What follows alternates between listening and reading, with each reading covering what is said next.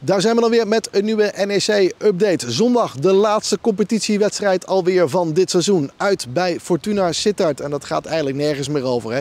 En dan gaan er ook nog eens een keer een aantal spelers afscheid nemen. Dus die spelen nog hun laatste wedstrijd. En daar staat het eigenlijk een beetje in teken van deze NEC-update.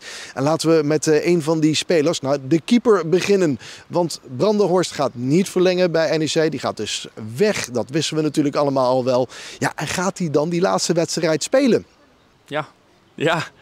ja superleuk. Ehm, ik heb natuurlijk afgelopen zondag al een, eh, een afscheid gehad eh, buiten de lijnen.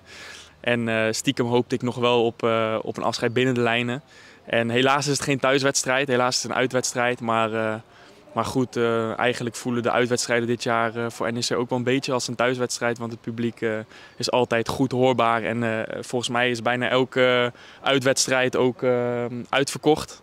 Dus, dus nee, ik, ik vind het leuk om op die manier ehm, ja, toch, toch dit tijdperk, tijdperk NEC op deze manier af te sluiten binnen de lijnen. Ja, het is wel mooi. Ja, je hoorde hem net al. UA Brandenhorst, dat hebben we dit seizoen heel vaak gehoord. Wel bijzonder denk ik voor tweede keeper als je op de bank zit en je naam wordt de hele tijd gescandeerd. Ja, dat was wel, dat was wel bijzonder inderdaad denk uh, een hele goede band met, uh, met de supporters uh, opgebouwd in de, in de afgelopen jaren. op het begin was het nog wat minder, maar ja, eigenlijk in het jaar van de eredivisie, toen, ja, toen werd dat eigenlijk beter en beter. Ik kan me nog een moment herinneren dat ik thuis tegen Ajax die penalty pak. En ik heb nog nooit zoveel lawaai en geluid gehoord. dus dat was wel het moment dat ik dacht van oké, wauw, dit is wel bijzonder. Ja, leuk hè, voor Matthijs Brandenhorst. Nou, die speelt dus de wedstrijd zondag in Sittard. En zo gaat hij dan afscheid nemen van NEC. Een andere wie ook zeker gaat spelen is Soufian El Karouani. Die gaat naar FC Utrecht natuurlijk. Ja, en hoe kijkt hij dan tegen zo'n laatste week en zo'n laatste wedstrijd aan? Ja, dat klopt. Laatste wedstrijd. Morgen laatste training. En ik hoop nog niet einde tijdperk. Dat, nog, dat het nog verlengd wordt in de toekomst. Maar ja, voor nu wel ja. Even terugkijken op je periode bij NEC. Je hebt heel veel meegemaakt. Wat, is, wat blijft er zo allemaal hangen? Uh, Want je kwam hier, hoe oud was je? 16 volgens mij. Heb ik uh, anderhalf jaar in onder 19 gespeeld. Daarna nog een half jaar. Toen hebben we top 8 gehaald, tweede jaar bij uh, onder 19. Toen ben ik uh, tweede half jaar naar Jong gegaan. Het jaar, vanaf het jaar daarna eigenlijk uh, naar, naar het eerste. Dus nou, dit is mijn vierde seizoen in het eerste. En ja, wat een beetje bij is gebleven, natuurlijk promotie. Mooie wedstrijden, veel mooie wedstrijden, veel mooie momenten. Het publiek hier is altijd, altijd mooi geweest. Dus heel veel momenten die bij mij blijven. Nou, de laatste, laatste training. wordt er dan nog iets bijzonders gedaan? Hoe gaat dat dan zo'n laatste week dat je hier loopt? Want velen gaan natuurlijk volgende week gelijk op vakantie. Ja, ja natuurlijk. We hebben afscheid gekregen al vanuit de club hier op het veld. Laatste thuiswedstrijd, ja. wat natuurlijk geweldig was. ja, nogmaals bedankt daarvoor. En, uh, en de fans die waren gebleven ook bedankt daarvoor. Maar uh, wij gaan met de groep nog onderling nemen wij ook nog afscheid. Dus uh, ja, dat is gewoon onderling. Er zijn steeds meer liedjes gekomen voor spelers. wat ik een heel goed, goed dingetje vind. een goede vooruitgang. Je, je, merkt ook wat het doet qua sfeer in het stadion. En ehm, ja, het, het, ook als speler is het gewoon leuk om een, een eigen liedje te hebben.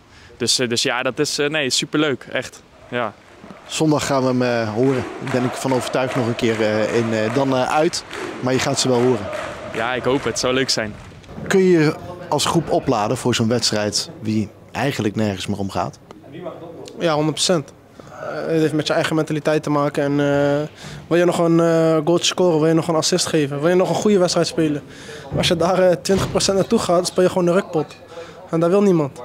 Nee, maar ik hoorde ook wel eh, van je trainer, hè, die zei dat ook bij, bij ESPN. De focus was er misschien niet helemaal meer de afgelopen wedstrijd. Uh, uh, dus, dus ergens is dat er toch niet klopt, helemaal. Klopt, klopt, klopt. klopt. Uh, natuurlijk, jongens zijn ook met andere dingen bezig en zo. Maar de, trainer, de trainer heeft dat al duidelijk gemaakt naar ons toe. En dat heeft hij goed gedaan. En ja, het is met on, aan ons om daarmee om te gaan. Maar persoonlijk voor mij is dat geen probleem.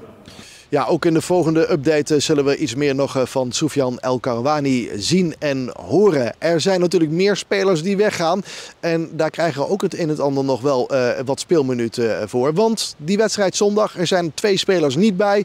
Zeker in ieder geval. En dat is natuurlijk uh, Lasse Schöne geschorst en is Dirk Proper geschorst. Dus Jordi Bruin speelt zijn laatste wedstrijd voor NEC ook gewoon in de basis.